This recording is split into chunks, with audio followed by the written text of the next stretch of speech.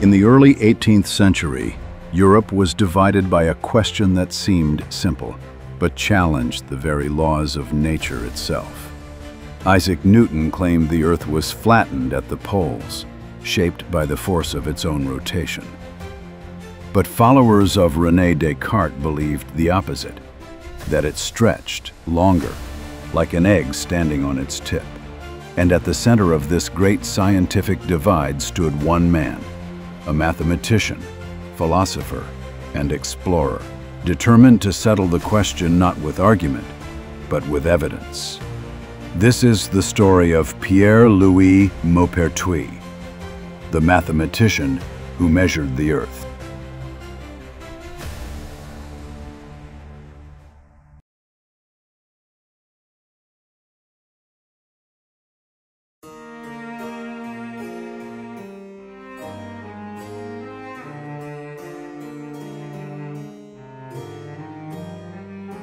Pierre-Louis Maupertuis was born on May 17, 1698 in Saint-Malo, a fortified port city in Brittany, France. His father, Michel de Maupertuis, was a magistrate from an aristocratic family, while his mother's background provided a cultured environment that valued learning and discourse. The household combined privilege with intellectual engagement, often hosting scholars and officials who discussed law, philosophy, and the natural world. This environment exposed Maupertuis to rigorous thinking and debate from a young age, shaping his curiosity and analytical mind. As a child, Maupertuis demonstrated a persistent fascination with numbers, patterns, and natural phenomena. He spent hours observing celestial events, sketching plants, and experimenting with measurements, developing early skills in observation and logical reasoning. His interest in mathematics and geometry was paired with a broader engagement in literature, classical studies, and philosophical thought. These formative years laid the foundation for a multidisciplinary approach that would define his scientific career. Maupertuis received formal education at the Jesuit College of Rennes, where he studied Latin, Greek, and rhetoric, alongside rigorous training in logic and reasoning the Jesuits emphasized precision, order, and disciplined thinking, skills that Maupertuis applied to his growing interest in mathematics and natural philosophy. During this period, he began studying the works of leading figures such as Isaac Newton and René Descartes, absorbing principles of motion, mechanics, and deductive reasoning. These studies introduced him to the methods and questions that would later dominate European science. By his early 20s, Maupertuis had begun publishing original mathematical work, demonstrating a capacity for precise calculation and innovative reasoning. His first papers explored geometry, probability, and mechanics, earning attention from established scientists in France. In 1725, he was elected to the French Academy of Sciences, a significant recognition for a young scholar and a formal acknowledgement of his skill and potential. This election provided him a platform to engage with leading scientists and participate in major scientific debates of the era. At the age of 27, he stood on the threshold of international scientific recognition, ready to transform both mathematics and our understanding of the natural world.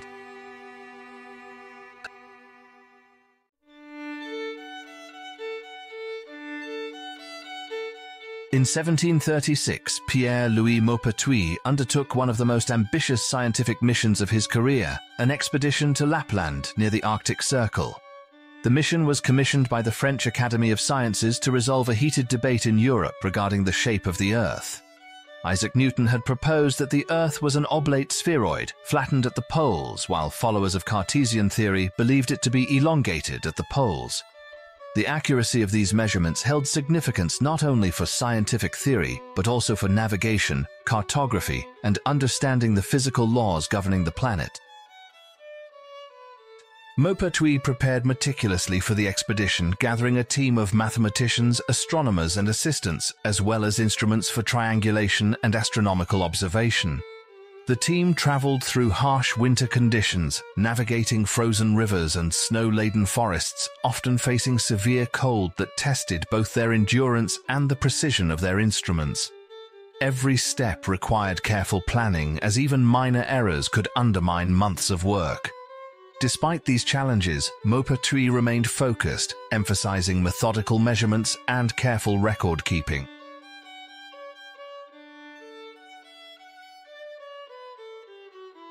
Upon reaching Lapland, Maupertuis and his team began their triangulation and angular measurements to determine the length of a degree of latitude near the pole.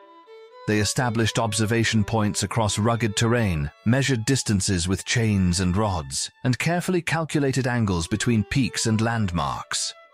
The work required both mathematical precision and physical stamina, as instruments had to remain stable in sub-zero temperatures. Each measurement brought them closer to understanding the true shape of the Earth. In addition to measurements, Maupertuis documented local geography, atmospheric conditions, and celestial observations.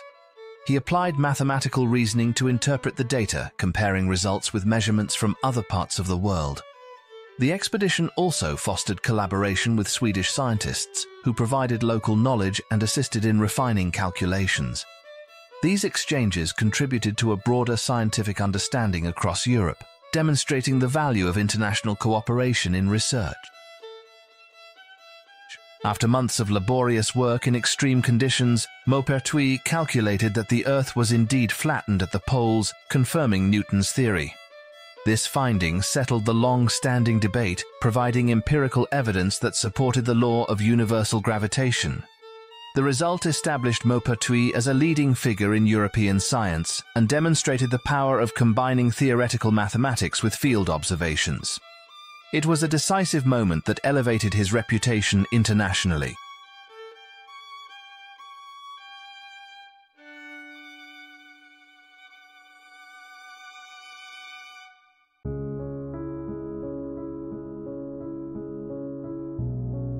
After his return from the Lapland expedition, Pierre-Louis Maupertuis focused on the theoretical side of science, exploring the principles that govern motion, energy, and nature itself.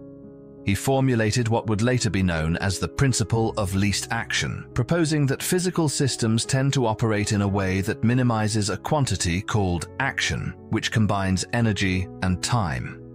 This principle provided a unified way to understand motion and forces and became a cornerstone of classical mechanics.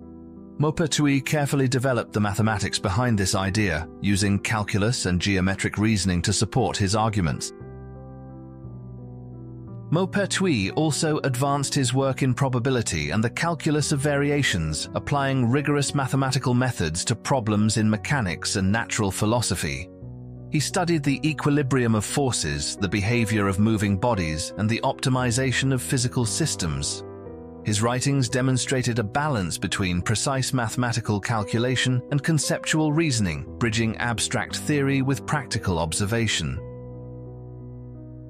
In 1750, Maupertuis published his major philosophical work, Essai de cosmologie, in which he explored the order and design of the universe.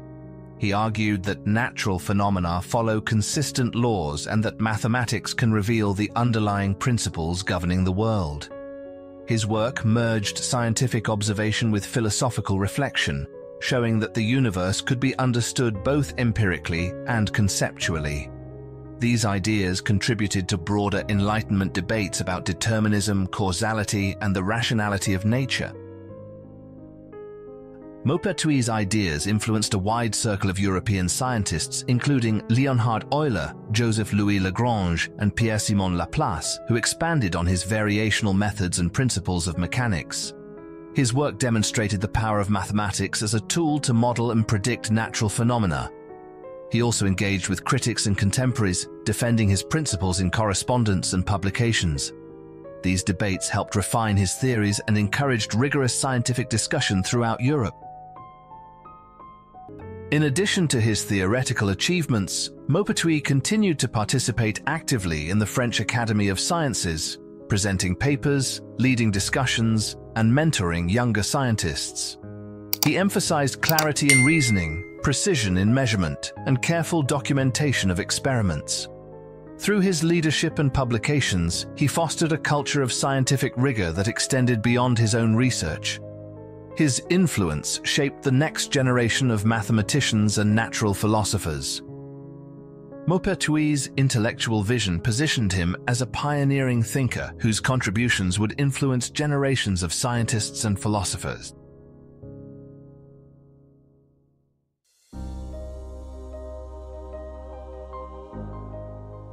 In the final years of his life, Pierre-Louis Maupertuis continued to publish research and refine his theories in mathematics, physics, and natural philosophy. He remained deeply involved with the French Academy of Sciences, serving multiple terms as president and mentoring younger scientists. His work extended to studies of mechanics, probability, and geodesy, maintaining the same rigor that had marked his earlier achievements. He married and had a family, balancing personal life with his scientific pursuits. While some records of his private life are limited, it is clear that he valued intellectual companionship and discussion within both family and professional circles. These connections provided support for his research and contributed to his influence within European scientific society. Throughout his career, Maupertuis encountered controversy and criticism. Philosophical interpretations of his principle of least action were challenged, and some contemporaries questioned the originality of his ideas in mathematics and mechanics.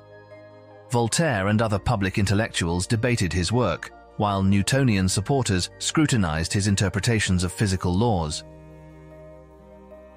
Despite these controversies, Maupertuis's achievements earned him widespread recognition across Europe.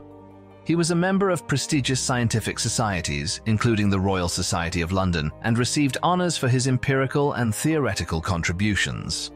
His leadership in the Academy of Sciences helped shape scientific standards and practices, ensuring that empirical rigor and mathematical precision remained central to research. Maupertuis passed away on July 27, 1759, in Basel, Switzerland, at the age of 61. His death marked the conclusion of a career that had transformed mathematics, physics, and the study of the natural world. He was remembered as a meticulous observer, innovative mathematician, and thoughtful philosopher. His burial in Basel and subsequent recognition ensured that his contributions would continue to be studied and appreciated by future generations.